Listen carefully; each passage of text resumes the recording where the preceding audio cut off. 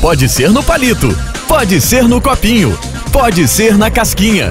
Se for Luana Sorvetes, pode ser de qualquer jeito. Luana Sorvetes, 3350 0529.